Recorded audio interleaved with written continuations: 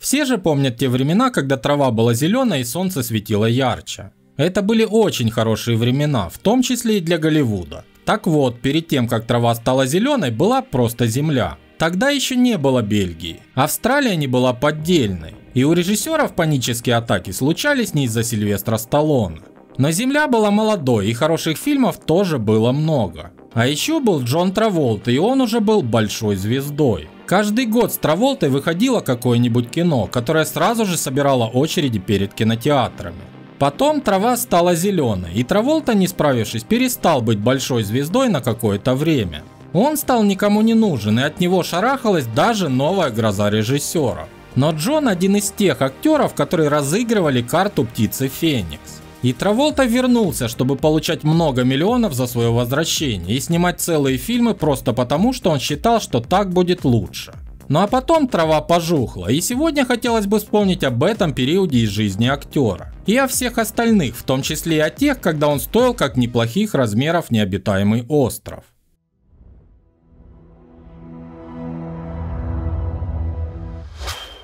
Прорывным для Траволты стало участие в фильме Брайана де Пальмы «Кэрри» в 1976 году. Небольшой фильм с бюджетом в 2 миллиона долларов только в американском прокате освоил 33 миллиона. Траволту немедленно завалили предложениями. И с выбором он угадал. Хотя позднее неоднократно говорил, что чуть не подписал себе смертный приговор этим выбором. Выбором этим стал музыкальный фильм «Лихорадка субботнего вечера».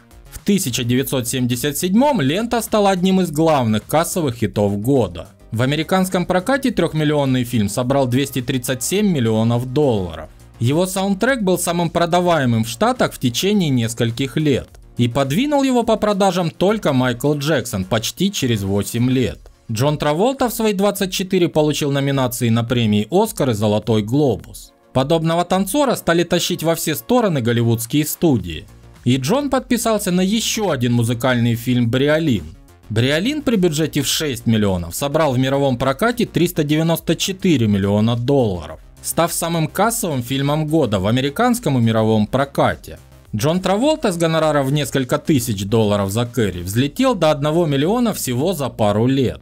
Однако актеру не очень нравилось, что его заваливают только предложениями фильмов, в которых необходимо петь и танцевать. Так что он стал экспериментировать и подписался на две мелодрамы «Миг за мигом» и «Городской ковбой». Первая в прокате выступила неудачно, а «Городской ковбой» вполне неплохо. Часто этот момент объясняют некой схожестью фильма с лихорадкой субботнего вечера. В 1981 году Траволта попытался уйти еще дальше от песен и танцев и подписался на триллер «Прокол», в котором снова объединился с постановщиком Кэрри Брайаном Де Пальмой.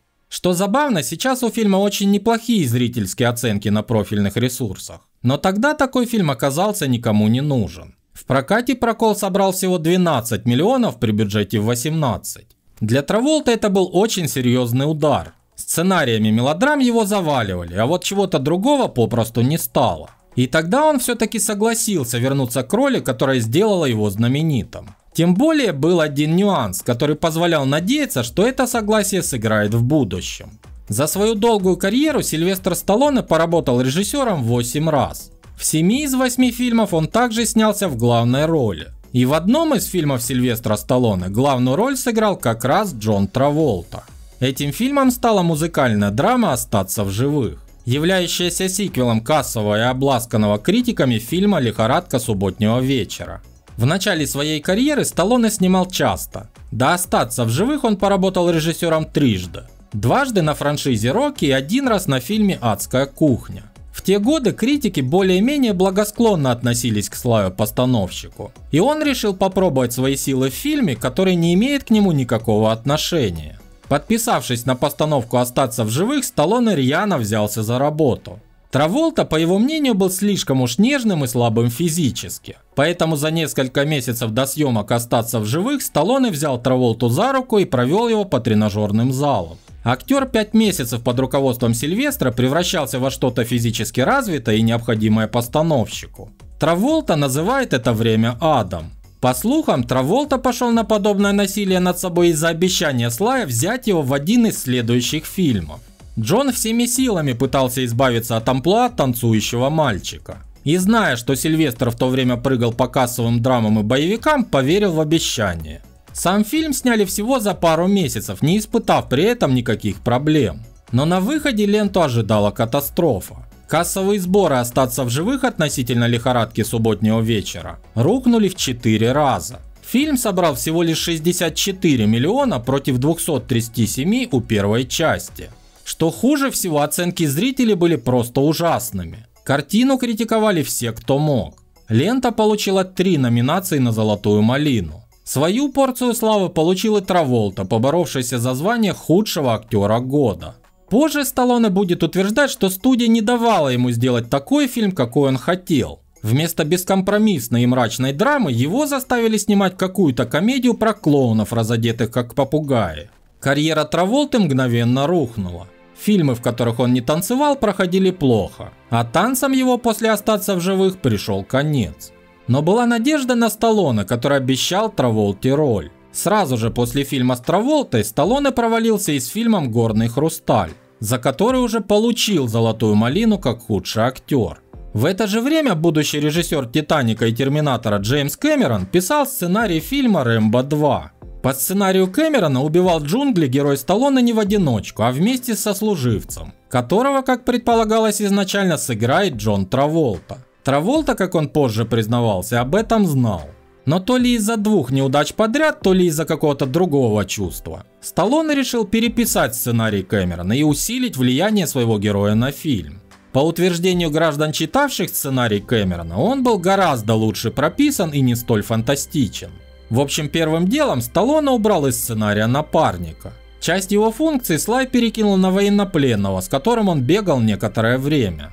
Естественно, Траволте места в фильме не осталось. По итогу Рэмбо 2 собрал гигантскую кассу в 300 миллионов долларов и укрепил звездный статус Сталлоне. Не общались Слай и Траволта больше 20 лет. После этого они стали встречаться на некоторых вечеринках, но той дружбы, которая виделась между ними в начале 80-х, естественно, нет. Ну а пока Траволта ждал приглашения Слая, он эффектно затонул с драмой «Хорошая пара» и накрыл ее сверху еще более эпичным провалом фильма «Идеально». За свою роль в этом фильме он получил еще одну номинацию на «Золотую малину» как худший актер. В 1987 году Джон уже заехал на телевидение с фильмом «Основание». Туда же, в общем-то, отправилась следом комедия «Эксперты», которую сняли с проката всего через неделю после выхода из-за пустых залов. Небольшим спасением стала комедия «Уж кто бы говорил». В 1989 году она стала огромным хитом, при бюджете в 7 миллионов собрав 296. Но обычно роли в фильмах про детей или говорящих зверюшек считаются смертным приговором для актеров. И в подобные ленты они идут уже тогда, когда их никуда не зовут. Вторая часть, уж кто бы говорил, насобирала всего 47 миллионов. Что для фильма с бюджетом в 10 неплохо, но по отношению к первой части граничит с катастрофой. Рядом с этими фильмами Джон вовсю покорял телевидение, с лентами «Золотые цепи» или «Глаза ангела». А если он пытался прорваться в кинотеатры, как с фильмом «Крик», то в него немедленно летела «Золотая малина», а в прокате фильм быстро проваливался. В 93 году в прокате полностью провалилась третья часть франшизы, уж кто бы говорил. При бюджете в 20 миллионов насобирала картина всего 11 миллионов долларов. Джон уже неплохо устроился на дне и искал какой-нибудь сериал, в котором он мог бы побегать на втором плане. А потом случилось оно. Но прежде чем оно случилось и Джон улетел в космос, хотелось бы вспомнить об одном моменте в его карьере. Многие могут подумать, что судя по его творческому пути, в 80-х у Джона просто не было шанса спастись, так как его никуда не брали. И это просто звезды на небе так встали. Естественно, не без этого. Но все-таки Джон мог сам себя спасти. Понятное дело, это все в теории, если бы Джон оказался в том месте в то самое время, все могло пойти иначе. Еще в конце 70-х он отказался от роли в фильме «Дни жатвы». Хитом проката лента не стала, но ее забросали премиями Оскар. И сейчас в США это один из культовых фильмов. На место Траволты в этом фильме подписался Ричард Гир.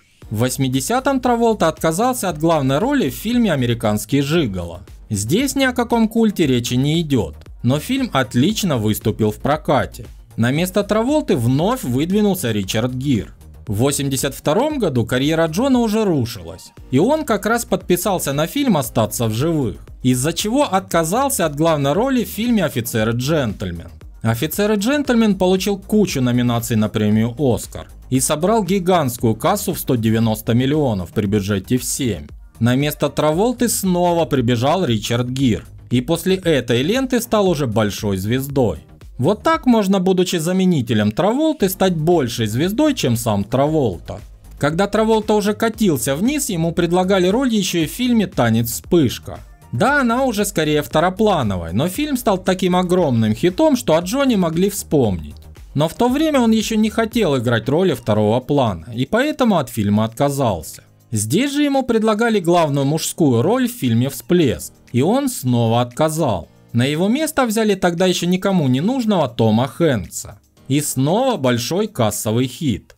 Да, танец вспышка и всплеск это не гарантированные хиты, а проекты, в которые никто не верил. Поэтому от них отказывались все, не только Траволта. Но если бы Джон рискнул, то в фильм «Лучший стрелок» взяли бы его, а не Тома Круза. Но продюсеры не захотели связываться с Траволтой, бегающим вокруг, посчитав его отработанным материалом и подписали Круза. И «Лучший стрелок» стал самым кассовым фильмом года. По известной байке в «Бешеных псов» вместо Майкла Мэтсона тоже звали Траволту. Но бюджет фильма был целый миллион долларов. Снимал его продавец видеокассет. И Джон все это увидев отказался, так как там надо было реально работать за еду. Точнее самому покупать еду и работать. И все по той же байке в криминальное чтиво, уже ставший знаменитым Квентин Тарантино, звал уже Майкла Мэтсона. Но тот то ли сослался на то, что последний автобус ушел и билетов больше нет, то ли не смог ответить согласием из-за контракта на другое кино. В общем, предложение снова ушло Джону Траволте. На этот раз ему предложили 100 тысяч долларов. И он согласился. Понятное дело, кино снимал уже не какой-то продавец видеокассет. Вероятно, этот момент тоже повлиял на согласие. Ну а дальше все уже знают. Криминальное чтиво насобирало 213 миллионов при бюджете в 8. И Джон Траволта наравне с Джексоном получил больше всего бонусов от участия в фильме. Брюс Уиллис по идее получил не меньше, но он уже был большой звездой и просто теперь стал еще и талантливой звездой. Еще работая над криминальным чтивом, Траволта подписался на фильм «Участь белого человека». За него на фоне съемок фильма Квентина он смог выбить 500 тысяч долларов. И фильм провалился. Но когда выстрелило криминальное чтиво, в Джона бросили уже 4 миллиона за роль в фильме «Достать коротышку». Стартовала белая полоса в жизни Траволты. Коротышка при бюджете в 30 миллионов собрал 115 миллионов долларов, а Джон получил премию «Золотой глобус». За коротышкой Джон отправился к Джону Ву, которого после успеха с трудной мишенью тоже в Голливуде заваливали деньгами. Студия так хотела заполучить Джона Траволту в свой фильм, что предложила ему выбрать роль, которую он хочет сыграть. И Траволта лично выбрал роль главного антагониста. Получил он за нее уже 8 миллионов долларов. «Сломанная стрела» стал проблемным фильмом не из-за Траволта. Просто так получилось. Джон Ву ненавидит это кино и после премьеры уже купил билеты на поезд в Китай. Он утверждает, что студия зарезала все его идеи. И «Сломанная стрела» получилась совсем не тем фильмом, который он хотел снять. Плюс палки в колеса ставил Пентагон, вложившийся в кино и следивший за съемками. К примеру, Траволте запретили ходить в форме после того, как становилось ясно, что он предатель. Из-за чего из фильма пропал экшен-эпизод на военной базе. Фильм еще и пострадал от ножниц на этапе постпродакшена. Из него вырезали несколько особо жестких экшен-эпизодов, которые отказывалась пропустить американская рейтинговая комиссия. По слухам, фильм на этапе монтажа пострадал еще сильнее, чем предыдущая работа режиссера «Трудная мишень». Но обошедшийся в 65 миллионов фильм все равно собрал в прокате 150 миллионов долларов. Каким-то грандиозным успехом это не назвать. Но и в провалы записать сломанную стрелу сложно. В этом же году у Джона в прокат попали еще две ленты «Майкл» и «Феномен». За Майкла актер получил уже 12 миллионов. Майкл при бюджете в 30 миллионов собрал 119 миллионов в прокате, а Феномен при бюджете в 32 насобирал 152 миллиона. Получилось, что за два года Траволта снялся в четырех фильмах. И лишь «Сломанная стрела» не стала хитом, но и не стала провалом. Понятное дело, после такого Джона Траволту назначили суперзвездой. И за безлица он получил уже 20 миллионов долларов. Николас же всего 6. Просто до безлица у него выстрелить успела только скала, и приставку супер он еще получить не смог. У безлица долгий период препродакшена, и в какой-то момент главные роли были закреплены за Арнольдом Шварценеггером и Сильвестром Сталлоне. Очевидно, это был бы немного другой фильм. Но Арнольд в середине 90-х имел не просто приставку супер, он был номером один. Сталлоне уже начинал сдавать, но все еще был суперзвездой. И если бы такой фильм случился и главное получился, страшно представить, сколько он мог бы тогда собрать. Как минимум у нас бы был самый кассовый экшен-фильм на долгие годы.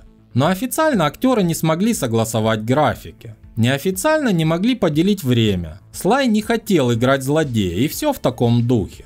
То есть ситуация схожа с разрушителем про Айкидо и Бельгию. Только те еще и терпеть друг друга не могли. Режиссером без лица стал опоздавший на поезд Джон Ву. Ву называет без лица своим любимым фильмом, снятым в США. По его словам, это был его единственный фильм, в производственный процесс которого не вмешивались продюсеры и студия. Все идеи режиссера сразу же одобрялись. И единственный момент в фильме, который пострадал из-за чего-то вмешательства, это начальный эпизод с гибелью сына героя Траволты.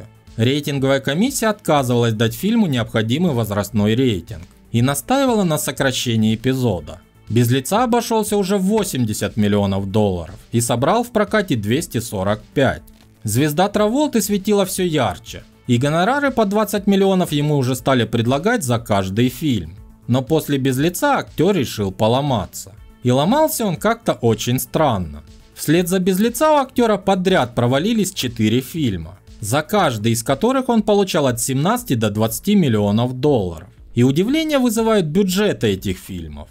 К примеру, гражданский иск обошелся в 75 миллионов, а в прокате собрал 56. И это вполне нормальные сборы для подобного фильма. Но даже если убрать из него гонорар Траволта, не совсем понятно, куда там дели еще 55 миллионов долларов. Если откинуть гонорары Уилла Смита и Джеффа Голдблюма, то за эти деньги рядом сняли День независимости. Матрица была дороже всего на 5 миллионов. Скала без гонораров Шона и Николаса стоила дешевле. Это типичная судебная драма, и какой-нибудь адвокат дьявола, стоивший 55 с гонорарами, выглядит существенно дороже. Тот же «Безумный город» с гонораром Траволты в 20 миллионов стоил 50 и выглядел не дешевле. Правда и собрал в прокате всего 10. У фильма 99 -го года «Генеральская дочь» бюджет уже 100 миллионов. Траволта снова получил свои 20 а в прокате фильм собрал 149 миллионов долларов. Рядом еще и провалилась 65-миллионная политическая драма «Основные цвета», за которую Траволта попросил 17 миллионов, насобирала она 52. То есть если «Безумный город», судя по кассовым сборам, спасти ничего бы не могло, то остальные фильмы при адекватном для них бюджете вполне бы могли отбиться. Это не значит, что в фильмах воровали деньги лопатами. У той же генеральской дочери очень долгий период препродакшена. В нее приходил Брюс Уиллис и под него писали сценарий. Потом он уходил и приходил Майкл Дуглас. Сценарий, написанный под Уиллиса, он находил посредственным и просил переписать его уже под себя. Когда его переписывали, Дуглас тоже уходил. Здесь скорее вопрос в том, зачем было и дальше раздувать бюджет и брать на главную роль Траволту, которому еще и платить 20 миллионов чтобы бюджет выглядел совсем уж неадекватно. Переломным моментом для Траволты стал 2000 В этом году он снялся сразу в двух фильмах «Поле битвы Земля» и «Счастливые номера». Затонувшую в прокате «Поле битвы», которую завалили золотыми малинами, я уже как-то разбирал. А вот за счастливые номера Траволта получил рекордный гонорар в своей карьере – 22 миллиона долларов. Это типичное мертвое кино который уже никто снимать не хотел, продвигать не хотел, но контракты были подписаны. И в случае их срывов студия просто получила бы убыток в 30-40 миллионов на ровном месте. Поэтому кино и сняли. Некоторые счастливчики, правда, успели сбежать. Фильмом занималась и студия DreamWorks, но теряла на ровном месте она меньше всех. Так что когда шла чехарда со сценарием и актерами, которые не хотели там сниматься, она собрала чемоданы и удалилась, отказавшись от прав на прокат фильма в пользу бедных. Но и фильм при бюджете в 63 миллиона взял в прокате целых 10. У корыта осталась студия Paramount и французский канал Плюс, заработавший на двоих миллионов 5. Все вроде бы катится в бездну, особенно карьера Траволты, но Голливуд этого не заметил За пароль «Рыба-меч» Джон получил снова 20 миллионов. Фильм обошелся в 102 миллиона и собрал 147. Но его провал обычно списывают на 11 сентября. Пароль успел выйти в Штатах и уже неплохо собрать. А вот по миру многие премьеры у фильма стояли как раз на сентябрь. Их пришлось отменять и переносить. Студия уверяет, что этот момент сократил сборы фильма где-то на 50 миллионов долларов. Но теперь-то Голливуд уже должен заметить, что звезда Траволты немного потускнела. Но Голливуд не заметил. За базу Клейтон Джон получил 15 миллионов. Фильм обошелся в 50, а собрал 43. Рядом на дно ушла и скрытая угроза, где Траволте вновь заплатили 20 миллионов. Фильм обошелся в 75, а собрал лишь 54. И это снова фильм, который выглядит миллионов на 15. И для него сборы в 54 были бы отличным достижением. Наступил 2004 год. И здесь актер впервые пошел на сокращение своего гонорара. Только для одного из фильмов. Этой лентой стал «Каратель». И хотя он в общем-то тоже провалился, все-таки это был провал не того масштаба, который в последние годы случались у Траволты. 33 миллиона бюджет и 54 кассовые сборы. А вот команде 49 с гонораром Траволты не повезло. За нее он попросил снова 20 миллионов. И ему их заплатили. Это раздуло бюджет фильма до 60 миллионов. И сборы в 101 их отбить не смогли. Последний свой гонорар в 20 миллионов Траволта получил за фильм «Будь круче». Это запоздалый сиквел фильма «Достать коротышку». Здесь хотя бы понятно, почему ему заплатили 20 миллионов долларов. Хотя это и почти половина бюджета фильма. Припозднившийся фильм повторить успех оригинала не смог, и при бюджете в 53 миллиона собрал 95 миллионов долларов. Если посчитать все фильмы, в которых Траволта снялся после «Без лица», их будет 15. И все они без исключения провалились. Кто-то сильно, кто-то не очень. И за все эти фильмы Джону платили по 15-20 миллионов долларов. Честно говоря, я не могу вспомнить больше ни одного актера, который бы выживал при стольких провалах. И единственное, что здесь приходит в голову, если не одевать шапочку из фольги, носители.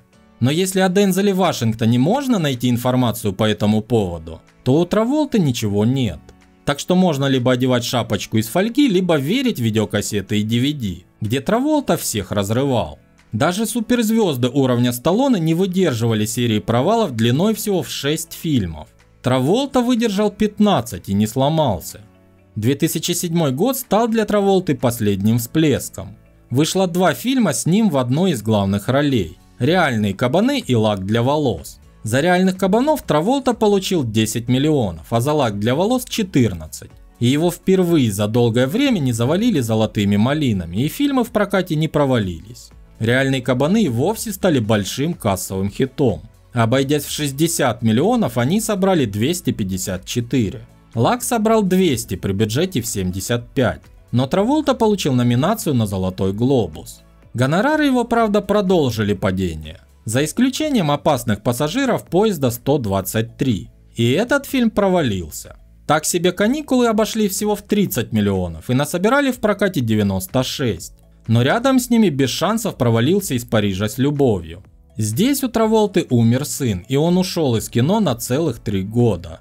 Попытавшись вернуться в 2012 году сразу с двумя фильмами «Особо опасный сезон убийц», Джон снова везде провалился. После чего искать роли ему явно стало сложнее. И в послужном списке появились боевики непонятной категории. Единственным относительным успехом в дальнейшей карьере Траволты можно назвать съемки в сериале «Американская история преступлений». В остальном Джон снимается в фильмах с оценками 4 балла из 10, и иногда пытается вернуться на большой экран с чем-то вроде кодекса Готти. И когда такое происходит, кино проваливается, даже со своим небольшим бюджетом. А в Траволту летят золотые малины. Так как сейчас этот момент кто-то обязательно вспомнит, хотелось бы его коснуться. Еще с 90-х ходят слухи о том, что Джон Траволта придерживается светло-синей стороны силы. Он все отрицает и подает в суд на все издания, которые печатают чье-нибудь разоблачительное интервью. Так что пока все это только слухи. И еще одна сноска. Саентологом Джон стал в конце 70-х. Иногда можно услышать, что его карьера в 80-х пошла вниз. И как раз там он себя нашел, после чего все изменилось. Но официально это тоже не так. Сейчас Траволте уже 68 лет, и о каком-нибудь возвращении, наверное, уже можно забыть. Он продолжает сниматься в фильмах той самой студии, что выпускает блокбастеры категории Брюса Уиллиса. Скоро даже выйдет их общий фильм, и режиссером у него Чак Рассел, когда-то поставивший маску и стирателя. А сейчас он снимает вот такое кино. И в нем снимается Джон Траволта. Спасибо за внимание, оставайтесь на связи.